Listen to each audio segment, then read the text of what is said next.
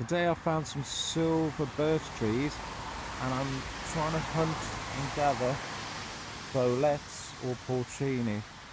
But unbelievably, it seems to be just brown roll rims. Millions, well not millions, but loads and loads of brown roll rims.